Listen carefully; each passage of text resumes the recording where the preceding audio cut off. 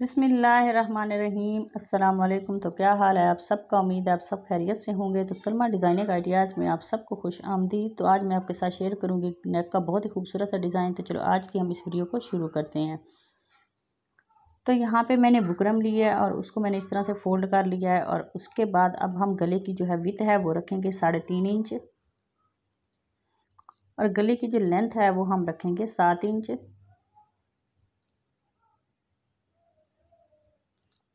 और अब हम इन निशानों को इस तरह से सीधा कर लेंगे।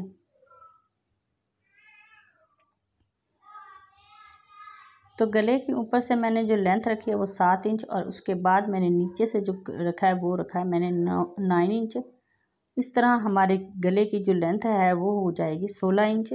तो साइड पे जो है हम सेंटर में इस तरह से एक इंच का रखते हुए एक पे इस तरह से लाइन लगा देंगे।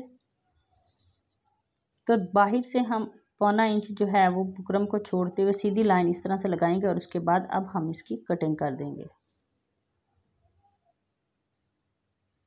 तो नेक को कटिंग करने के बाद इसको जो है वो फैब्रिक पे पेस्ट कर लेंगे।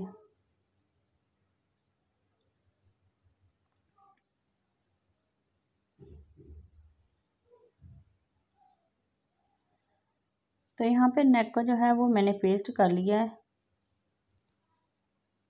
और यहाँ पे मैंने लिया है बुकरम, उसकी जो लेंथ है वो मैंने रखी है वन पॉइंट फाइव इंच और जो विथ है उसकी मैंने रखी है टू इंच और इस तरह से हम इसकी जो है वो सेंटर को पकड़ के इस तरह कटवर्क की चुकी जो है वो शेप दे देंगे। तो इसी तरह से मैं बाकी के सारे जो है वो रेडी कर लेती हूँ।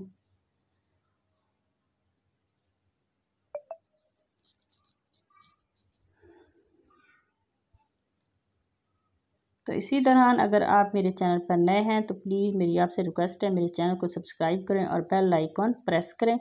तो वीडियो को लास्ट तक लाजमी देखा करें, अगर अच्छी लगे तो उसे लाइक करें, शेयर करें और कमेंट करके मुझे ज़रूर बताएँ। तो यहाँ पे जो है वो मैंने डिज़ाइन कटिंग कर लिया और उसके बाद अब हम इसको इस तरह से पेस्ट कर लेंगे।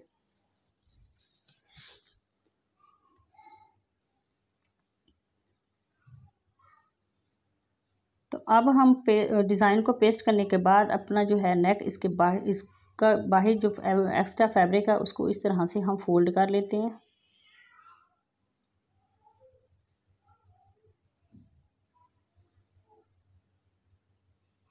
तो बाहर से जो फैब्रिक था वो मैंने फोल्ड कर लिया और अब हम इसको इस तरह से फ्रंट का जो है पीस लेंगे शर्ट का फ्रंट पीस उसके ऊपर इस तरह से नेक को रखेंगे और इसके सेंटर में बिल्कुल जो है वो सिलाई लगा देंगे।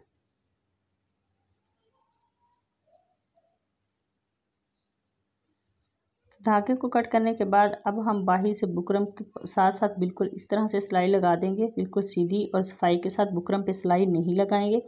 नहीं तो हमारा नेक जो है वो सफ़ाई से तैयार नहीं होगा।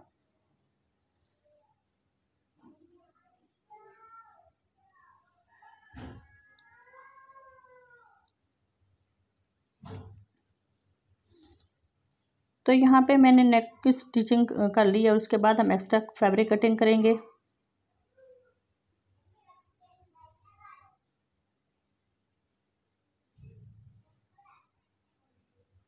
एक्स्ट्रा फैब्रिक कटिंग करने के बाद अब हम इसमें इस तरह से कट लगाएँगे और इसको सीधा कर लेंगे। तो यहाँ पे किसी नोकदार चीज़ या कैंची की नोक की मदद से हम इस तरह से इसकी नोक को निकाल लेंगे और इसको प्रेस कर लेंगे।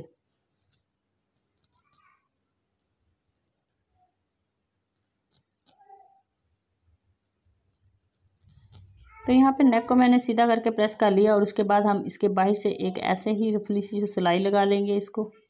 जो हम नेक बनाने के बाद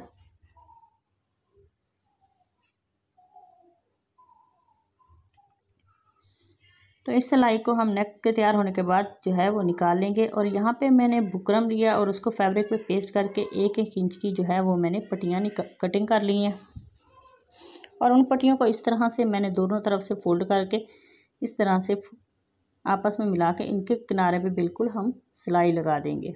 तो सिलाई बहुत ही एहतियात से और सफ़ाई के साथ लगाएँगे, ताकि सिलाई हमारी जो है वो नीचे ना फैब्रिक से उतरे और इस तरह से दूसरी पट्टियों को भी मैं रेडी करके और वन पॉइंट फाइव इंच पे इनकी कटिंग कर दूँगी।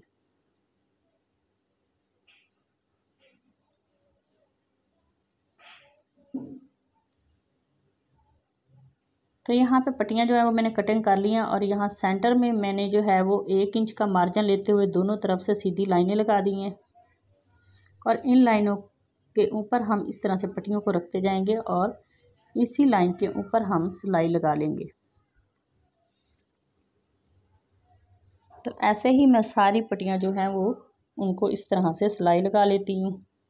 इसी दौरान अगर चैनल पर नए हैं तो प्लीज़ चैनल को सब्सक्राइब करें और बेल आइकॉन प्रेस करें ताकि मेरी आने वाली हर वीडियो का नोटिफिकेशन आपको मिल सके। तो एक तरफ़ से सिलाई लगा ली है और दूसरी तरफ़ से भी हम ऐसे ही सिलाई लगा लेते हैं।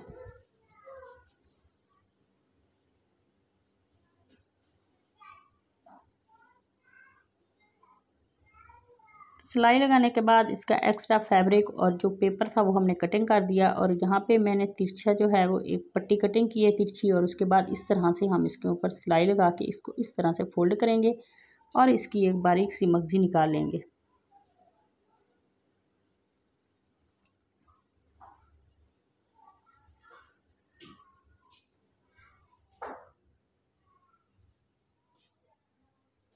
तो एक तरफ़ की मैंने इस तरह से मगज़ी निकाली है तो दूसरी पट्टी को भी हम इसी तरह से जो है वो रेडी कर लेते हैं। तो यहाँ पे मैंने वो एक पहले वाला जो डिज़ाइन बन पेस्ट किया था फैब्रिक पे, उसको इस तरह से नीचे से जो है वो फैब्रिक रखेंगे और उसके ऊपर इस तरह से रख के बिल्कुल हम बुकरम के साथ साथ जो है वो सिलाई लगा देंगे। सिलाई लगा लिया और अब हम इसका एक्स्ट्रा फैब्रिक भी कटिंग कर देते हैं। तो सेंटर में इस तरह से कट लगा लेंगे। कट लगाने के बाद अब हम इसको इस तरह से पलट के और इसको इस्त्री की मदद से बिल्कुल हम प्रेस कर लेंगे। तो यहाँ पे ये डिज़ाइन मैंने बना लिया है, उसको प्रेस भी कर दिया और उसके बाद हम इस तरह से दोनों तरफ़ आपस में मिला के और इसको नीचे से जो है हम थोड़ा सा दबा लेते हुए सिलाई लगा देंगे। सिलाई लगाने के बाद अब हम कैंची की मदद से इसको नोक जो है वो अच्छी तरह से निकाल लेंगे। और उसके बाद अब हम इसको इस तरह से जो है वो प्रेस कर लेंगे, इस सारे डिज़ाइन को। तो यहाँ पे मैंने मक्सी के लिए जो है वो तिरछा तिरछी पट्टी जो है वो कटिंग कर ली है और उसके बाद हम इस तरह से गले के ऊपर रखेंगे और बिल्कुल एक पॉइंट का दबा लेते हुए इसको इस तरह से सिलाई लगा देंगे। तो इस तरह सारी जो है वो पट्टी हम अपने नेक के साथ अटैच कर लेते हैं और उसके बाद हम इसकी जो है वो मगज़ी निकाल लेंगे।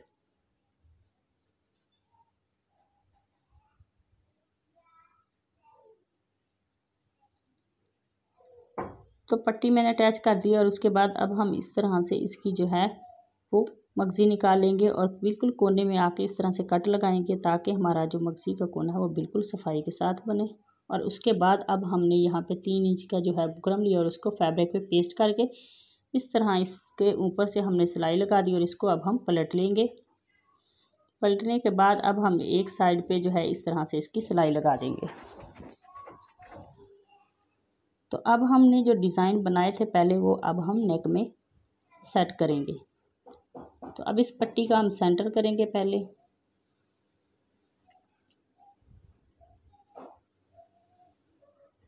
सेंटर करने के बाद इस तरह से जो हमने डिज़ाइन बनाया, इसको सेंटर में रखेंगे और इसके ऊपर बराबर में सिलाई चलाते जाएँगे।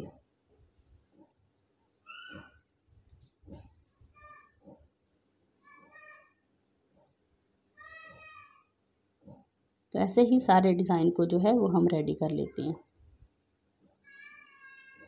तो यहाँ पे मैंने नेक लिया और उसके ऊपर जो मैंने पहले ये पट्टी वाला डिज़ाइन बनाया, इसको इस तरह से रखेंगे और बिल्कुल मगज़ी के पास पास जो है वो हम सिलाई लगाते जाएँगे।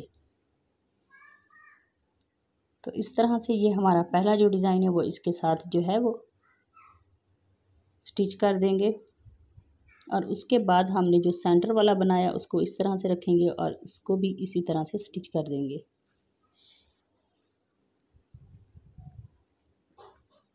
तो ऐसे ही हम इस पूरे डिज़ाइन को कंप्लीट कर लेते हैं।